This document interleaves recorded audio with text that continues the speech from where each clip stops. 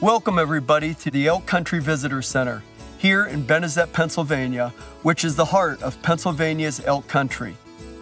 Our mission is to conserve and enhance Pennsylvania's elk country for future generations. We do that three ways. Number one, through conservation education. Then, habitat improvement for not only the elk, but other wildlife species as well. And then, permanent land protection. Here at the Elk Country Visitor Center, there's lots to see, lots to learn about, and lots to do. There's many things to do outdoors, great displays, interactive touchscreens, a 4D story theater, a very nice gift shop, and much more. So, take a look around, enjoy yourself, and enjoy Pennsylvania's elk country.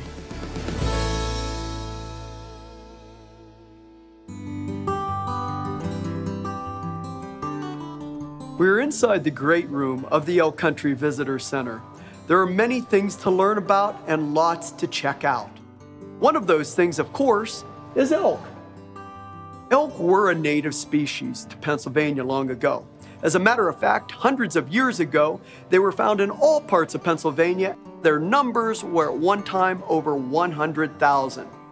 But Due to European expansion, habitat loss, and overhunting, the eastern woodland elk, which was the native species, were extirpated from our state, which means removed, in the 1860s. Then we didn't have any elk in Pennsylvania for about 50 years. Thanks to the Pennsylvania Game Commission, they were reintroduced to our state from 1913 to 1926. During that time, they went out west and they live trapped Rocky Mountain elk and brought them back in several shipments by train to Pennsylvania and then released them.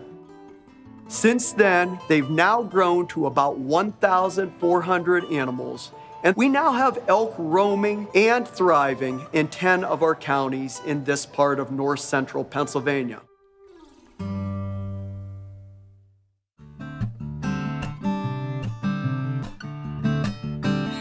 Habitat is key to the success of the health and growth of our Pennsylvania elk herd. Here at the Elk Country Visitor Center, we have many viewing walls where visitors can come and view Pennsylvania elk herd in their natural habitat. These fields, often called herbaceous openings, they don't happen on their own in Pennsylvania. These openings are maintained by nonprofit wildlife organizations. Without these food plots or forage plots, elk would not have the habitat that they need. Not only do these herbaceous openings benefit elk, but they also benefit other wildlife species. Clover is wonderful for honeybees and other pollinators. A lot of these plants are also enjoyed by turkey, white-tailed deer, songbirds, and black bears. Elk are grazers, whereas their cousins, the white-tailed deer, are browsers. Elk prefer to eat green plants, and elk are large animals, so they can eat up to 25 pounds of these green plants that they find a day. In the wintertime, they actually eat a lot of bark. They take their lower front incisors and they will strip the bark off of trees. And some of their favorite barks to eat are aspen, willow, and maple. If you come here to view elk, I would recommend that you come early in the morning and late in the evening because elk are crepuscular, which means they're most active early morning and late evening, and that's when visitors see the most elk here at the Elk Country Visitor Center.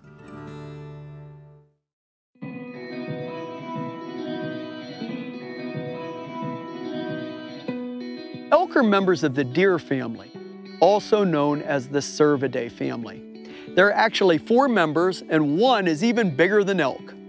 Moose are the largest, then elk, then caribou and reindeer, and then deer. I'm sure that most of you have seen white-tailed deer. Their young are called fawns. They weigh about seven pounds at birth. They're usually born in May, and they can have up to four fawns each spring. They are also born with spots. This is how big a baby elk is when it is born. It weighs about 35 to 40 pounds at birth. They also have those spots. That is a survival adaptation which helps them to blend in during those first few weeks when they are not very quick on their feet.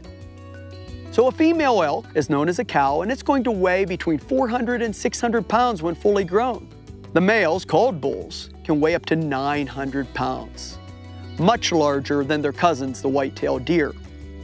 If we look at their tracks, this is a white-tailed deer track, and this is a Rocky Mountain elk track.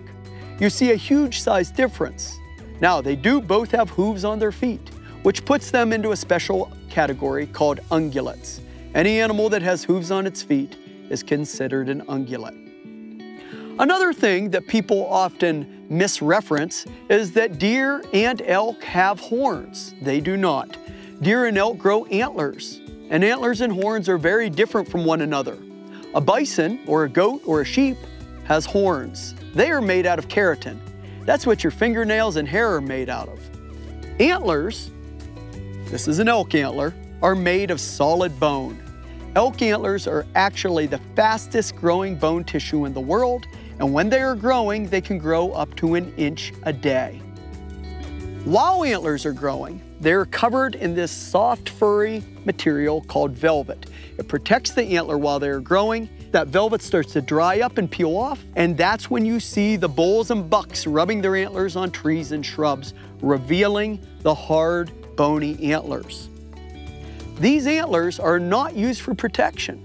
They are actually used during the mating season, which is in September and October, to establish dominance. They are showing off for the females, and they are also using these antlers to fight with other bulls to see who is the biggest, toughest, strongest, and then that bull will have breeding rights to the females. That's also a really cool time of year to view the elk because they are also communicating with one another during that time of year.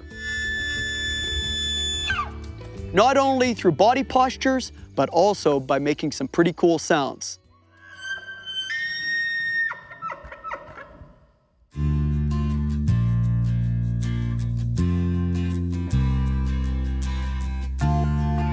Now that you've had a taste of a few of the things we have to offer here, please come and visit in person. We have educational field trips that you can schedule for all ages, weekend programs, special events, educator workshops, and more. Or if you just happen to be in the area, stop by and do a self-guided tour. Thanks for joining me today, and we hope to see you soon in Pennsylvania's elk country.